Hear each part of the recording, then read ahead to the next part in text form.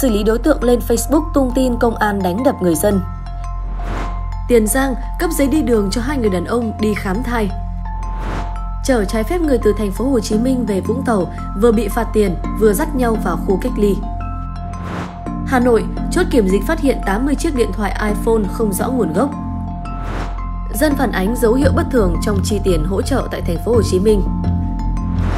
VTV lại déo tên Thủy Tiên về sao kê từ thiện. Quý vị đang theo dõi tin tức được cập nhật 24 giờ trên kênh tin tức Việt. Những tin tức nóng hổi nhất sẽ được gửi tới quý vị ngay sau đây. Xử lý đối tượng lên Facebook tung tin công an đánh đập người dân. Lực lượng công an đang lập hồ sơ xử lý đối tượng tung tin sai sự thật trên Facebook khi nói rằng lực lượng công an đã đánh đập người dân vi phạm quy định phòng chống dịch bệnh COVID-19 trên địa bàn tại trụ sở Ủy ban Nhân dân xã. Hôm nay, thông tin từ Công an tỉnh Quảng Bình cho biết, Công an huyện Bố Trạch vừa lập hồ sơ xử lý đối tượng cung cấp thông tin sai sự thật, xuyên tạc, vu khống, xúc phạm uy tín của cơ quan, tổ chức cá nhân, danh dự nhân phẩm của cá nhân lên mạng xã hội Facebook. Đó là LQG, sinh năm 1985, trú tại xã Nhân Trạch, huyện Bố Trạch, hiện sống tại thôn Phúc Tự Đông, xã Đại Trạch, huyện Bố Trạch. Trước đó trên trang Facebook cá nhân có tên Quang Dung đã đăng tải bài viết với nội dung phản ánh việc lực lượng công an tại xã Nhân Trạch, huyện Bố Trạch đánh đập người dân vi phạm quy định phòng chống dịch bệnh trên địa bàn tại trụ sở Ủy ban Nhân dân xã Nhân Trạch. Sau khi thông tin trên được đăng tải trên mạng xã hội, lực lượng công an đã tiến hành xác minh, điều tra nội dung sự việc, đồng thời phối hợp công an xã Đại Trạch mời LQG đến làm việc. Kết quả xác minh cho thấy thông tin được LQC đăng tải là không đúng sự thật. LQC đã thừa nhận nội dung phản ánh của mình là không có cơ sở, không có tài liệu hình ảnh để chứng minh sự việc nêu trên là đúng sự thật. Trước hành vi sai phạm trên, lực lượng công an đang lập hồ sơ để xử lý theo quy định. Mời quý vị cùng đến với thông tin đáng chú ý khác. Tiền Giang cấp giấy đi đường cho hai người đàn ông đi khám thai. Phó Chủ tịch Ủy ban nhân dân xã Long Định của tỉnh Tiền Giang đã ký cấp giấy đi đường cho hai người đàn ông đi khám thai trong thời điểm thực hiện giãn cách xã hội. Chiều qua trên mạng xã hội xuất hiện một giấy đi đường được cấp cho hai người đàn ông đi từ xã Long Định, huyện Châu Thành, Tiền Giang đến thành phố Mỹ Tho, Tiền Giang để khám thai. Theo giấy đi đường này, Phó Chủ tịch Ủy ban nhân dân xã Long Định là ông Đặng Tiến Duẩn ký cấp cho ông Nguyễn Văn Lưu, sinh năm 1936 và ông Trần Thanh Trà được phép tham gia giao thông từ xã Long Định đến bệnh viện đa khoa Tiền Giang để khám thai. Ngoài ra giấy đi đường cũng nói rõ khoảng thời gian được tham gia giao thông là từ 13 giờ đến 17 giờ ngày 18 tháng 9 và không được ghé điểm nào khác. Khi khám xong về đến địa bàn, phải có giấy test nhanh và kết quả âm tính thì mới được qua chốt. Khi về nhà phải tự cách ly 14 ngày, không được tiếp xúc với người khác bên ngoài. Trao đổi với phóng viên, một lãnh đạo xã Long Định xác nhận giấy đi đường này là có thật, giấy do ông H là cán bộ của xã soạn và đánh máy, trình cho phó chủ tịch đã ký. Nguyên nhân cấp giấy đi đường cho hai người đàn ông này là do giấy này được sửa từ nội dung đã cấp cho một thai phụ trước đó nên đánh máy nhầm. Riêng về thẩm quyền cấp giấy đi đường liên huyện thì vị này giải thích trường hợp ông Lưu đi khám bệnh là trường hợp đặc biệt như cấp cứu chữa bệnh nên thẩm quyền cấp xã được cấp phép nhưng phải đúng địa điểm trong giấy đi đường. Mời quý vị cùng đến với thông tin đáng chú ý khác. Chở trái phép người từ thành phố Hồ Chí Minh về Vũng Tàu vừa bị phạt tiền, vừa dắt nhau vào khu cách ly. Dù không quen không biết nhưng tài xế Lý Trí Lộc vẫn nhận chở Đặng Huy Tú từ thành phố Hồ Chí Minh về Vũng Tàu với tiền công là 500.000 đồng. Sau khi bị phát hiện, cả Lộc và Tú đều bị đưa vào khu cách ly tập trung. Hôm nay, Công an phường Thắng Tam, thành phố Vũng Tàu, tỉnh Bà Rịa Vũng Tàu cho biết đang hoàn tất hồ sơ để tham mưu cho Ban chỉ đạo phòng chống dịch COVID-19 phường Thắng Tam xử lý trường hợp tài xế xe tải chở người trái phép từ thành phố Hồ Chí Minh về Vũng Tàu. Trước đó vào khoảng 17 giờ ngày 17 tháng 9, tổ tuần tra kiểm soát lưu động phòng chống dịch COVID-19 phường Thắng Tam phát hiện một xe tải do tài xế Lý Chí Lộc, 23 tuổi, ngụ tại thành phố Hồ Chí Minh điều khiển dừng đỗ xe tại ngã ba Thủy Vân Trần Quý Cáp, phường Thắng Tam và cho một người đàn ông đi vào khu vực đường Trần Quý Cáp nên tiến hành kiểm tra.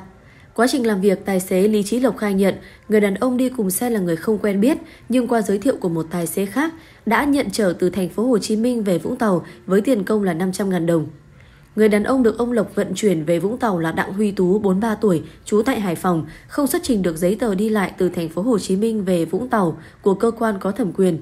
Theo lời khai của Đặng Huy Tú, trước đây đã từng vào thành phố Vũng Tàu nên nhờ tài xế xe tải Bắc Nam chở từ Hải Phòng vào thành phố Hồ Chí Minh vào chiều ngày 17 tháng 9 và được Lý Trí Lộc đưa đón xuống Vũng Tàu với mục đích để xin việc làm. Sau khi được trở đến khu vực trên, Tú xuống xe đi bộ vào phía trong đình hỏi thuê phòng khách sạn thì bị tổ tuần tra phát hiện. Bước đầu, Công an phường Thắng Tam cho biết xét nghiệm nhanh COVID-19 cả hai đối tượng đều cho kết quả âm tính.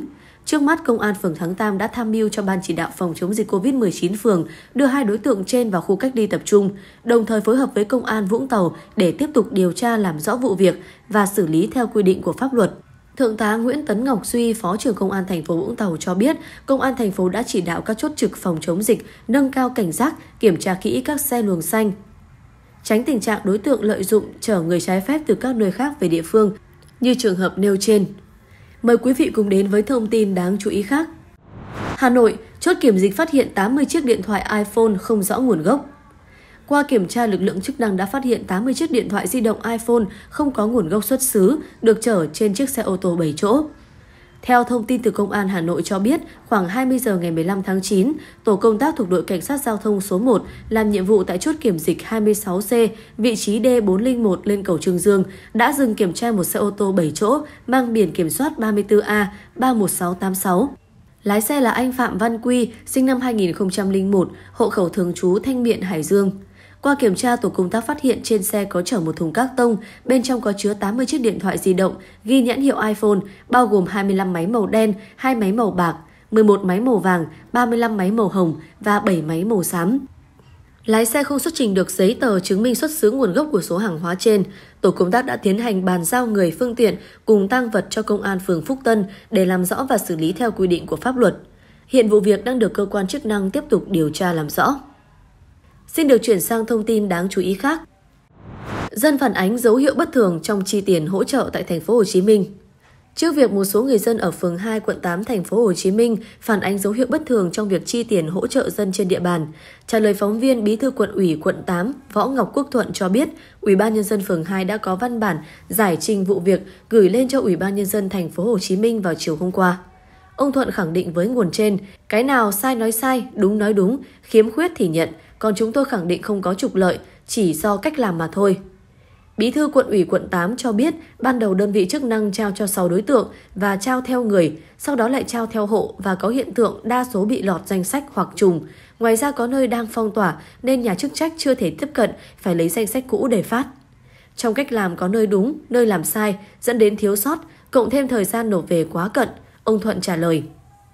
Một số hộ dân ở phường 2 quận 8 trước đó phản ánh việc chi tiền hỗ trợ cho các gia đình khó khăn bị ảnh hưởng bởi dịch COVID-19 trên địa bàn có nhiều dấu hiệu bất thường. Một số danh sách được cán bộ phường lập có hai chỗ trùng tên địa chỉ nhưng khác số điện thoại. Có người đăng ký từ lâu, xong đi lại nhiều lần vẫn không được hỗ trợ.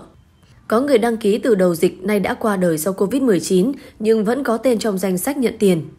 Theo ghi nhận của phóng viên, bà HTBT, 54 tuổi, ngụ tại đường Âu Dương Lân, phường 2, làm công việc phụ bán quán ở chợ, đăng ký với tổ trưởng tổ dân phố để nhận được tiền trợ cấp từ đầu tháng 8. Tới nay, bà chưa biết mình có được xét duyệt hay không, dù địa phương đã hỗ trợ đợt 2 xong. Đáng nói theo thông tin của báo Thanh niên, bà T đã được xét duyệt nhận tiền trong đợt 2 này và tên của bà HTBT có tới 2 lần được ghi trong danh sách nhận tiền, với thứ tự lần lượt là 1.609 và 1.610. Mời quý vị cùng đến với thông tin đáng chú ý khác. VTV lại déo tên Thủy Tiên về sao kê từ thiện. Sau khi Thủy Tiên tung 18.000 trang sao kê, dù bị chỉ trích, nhưng VTV lại tiếp tục đăng tải bản tin văn hóa ứng xử của nghệ sĩ, đặc biệt liên quan đến chuyện từ thiện. Sau sự việc Thủy Tiên và Công Vinh livestream công khai 18.000 trang sao kê, thu hút sự quan tâm lớn của cộng đồng mạng. Liên quan đến chủ đề này vào tối qua, Đài truyền hình quốc gia VTV một lần nữa đưa tin về những phát ngôn lệch chuẩn của giới nghệ sĩ, đặc biệt liên quan đến lùm xùm làm từ thiện. Dù bản tin này bị một bộ phận lớn người hâm mộ của Thủy Tiên chỉ trích, thậm chí tấn công, đe dọa nhà đài trước đó. Nghệ sĩ Hoài Linh, Thủy Tiên và loạt sao Vi Bít đã bị VTV gọi tên trong phóng sự Nghệ sĩ và văn hóa ứng xử để ngỏ chuyện cấm sóng. Trong bản tin thời sự vào tối ngày 18 tháng 9, VTV cho biết Bộ Văn hóa Thể thao và Du lịch đã biên soạn dự thảo quy tắc ứng xử của người hoạt động nghệ thuật, lấy ý kiến đóng góp của các chuyên gia văn hóa, các hội chuyên môn. VTV nhấn mạnh đây là động thái nhằm nâng cao ý thức hành xử của các nghệ sĩ, chấn chỉnh môi trường hoạt động nghệ thuật lành mạnh và quy củ hơn. Nhiều chuyên gia cũng cho rằng cần khẩn trương xây dựng các chế tài xử phạt mang tính pháp lý trên cơ sở các quy tắc này. VTV từng đưa tin về chủ đề này trong hai bản tin Thời sự tối 19 giờ và chương trình Câu chuyện văn hóa, nhưng đã bị một bộ phận lớn người hâm mộ của Thủy Tiên chỉ trích, thậm chí tấn công, đe dọa nhà đài. Thậm chí netizen còn lập hội nhóm bảo vệ Thủy Tiên về chuyện từ thiện và đòi tẩy chay VTV. Quý vị đừng rời màn hình vì Quỳnh Anh sẽ quay trở lại ngay với những tin tức nóng hổi được cập nhật khác. Quý vị cũng đừng quên để lại ý kiến của mình về những tin tức mà chúng tôi vừa nêu thông qua phần bình luận.